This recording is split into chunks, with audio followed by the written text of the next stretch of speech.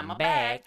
What's up, everybody? It's been a little while, but we're back, better than ever, with a brand new setup, new mic, new camera, which looks awesome, by the way. Damn, boy, look at how sharp I am, boy. Damn. Today, I want to try something new, which is. You've already seen the title. We're gonna be making music only using my voice. Now, you might be thinking, Flyx, are you an idiot? Yes, but you also might be thinking, Flyx, your voice isn't that great. Well, you're absolutely right. But we're gonna do it anyway. I mean, I can hold a tone, I can do a little beatboxing here and there, so it should go swimmingly. So let's just hop into FL Studio and get into it.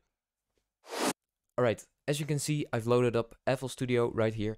The first thing I want to do is record a bunch of sounds of me singing, humming, whistling, beatboxing, whatever I can come up with, and then we can all arrange it into proper music later. But first, we need sounds.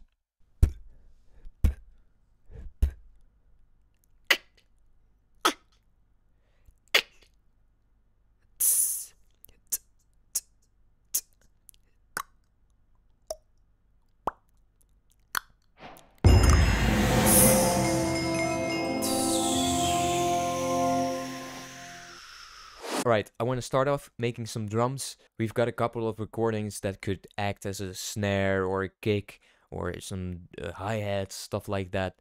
So let's start by editing a few of them to make them sound better and arrange them a bit. Five minutes later. So I selected a couple of sounds that I think sound pretty good. On its own they sound kind of meh, but if I add some effects they sound pretty decent. So first of all I have this kick without effects sounds like this. But if I add some effects on top, sounds pretty thick. And I did the same for this sort of rim shot snare I recorded, which sounds like this without effects. And then with effects. And lastly, we have this hat, which also sounds pretty good with a little bit of EQing on there to make it sound more metallic. And together they also sound pretty good. I just made a little beat with the sounds I have so far, and they sound pretty good together.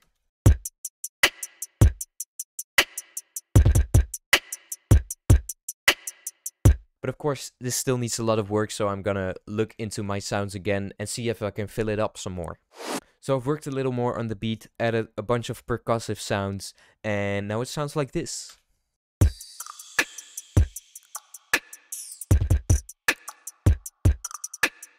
So I think it really needs some bass right now. So what I'm gonna try is just humming one note and try to make some sort of bass sound out of it.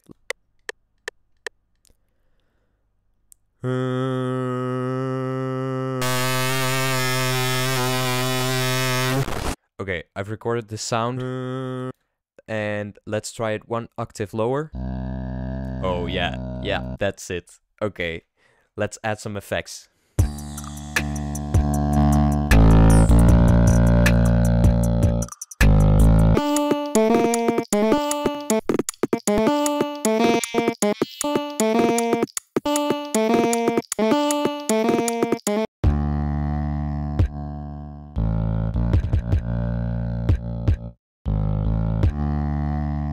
Alright, that sounds really cool so far. The next thing I want to try is record some chords. Of course, using my voice again, because, hey, that's the only thing I'm allowed to do. So, let's try it.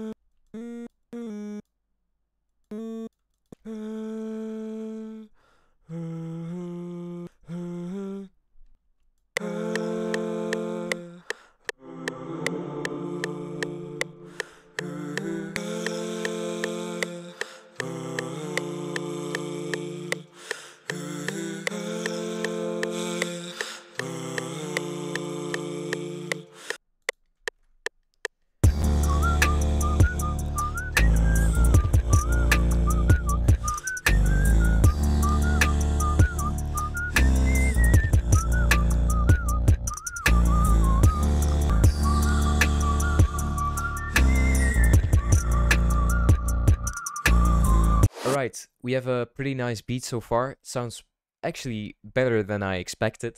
So now let's work on the arrangement a little bit.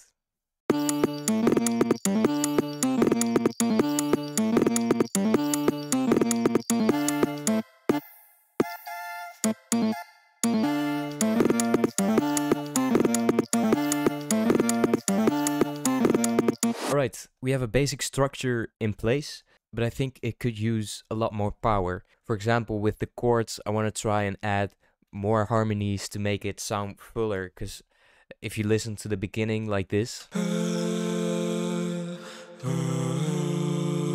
it's a bit empty, so let's try and fill that up.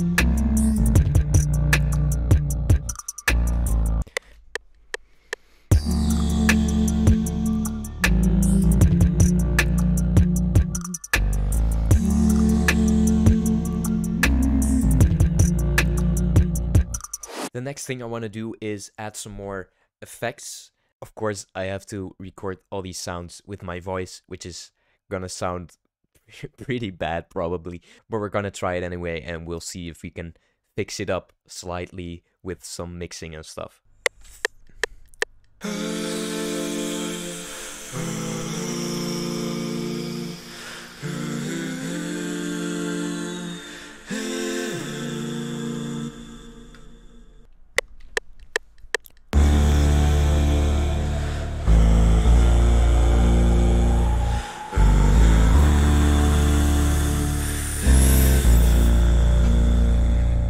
Alright, those effects actually sound way better than I expected, so that's good.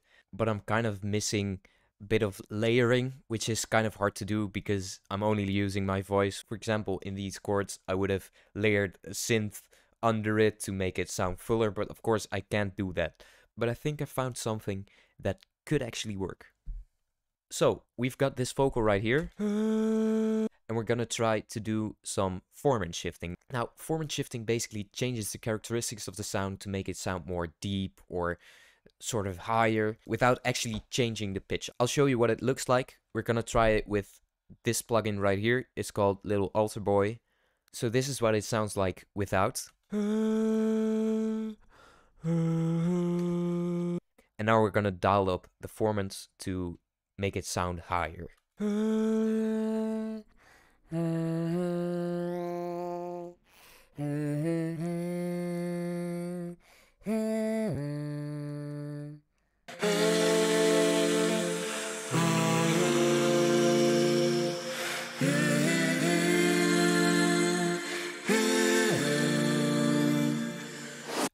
I think that's pretty much it. I'm gonna do some finishing touches off camera and you'll hear the finished product right after this. But before I finish this off, I'm gonna ask you that one annoying thing every YouTuber does in this video. Subscribe, subscribe right here, like the video. But for real, it actually helps me out a lot. So if you could subscribe, that would be great. You can always unsubscribe if you feel like it later. But yeah, enough rumbling. Here's the finished thing. Enjoy.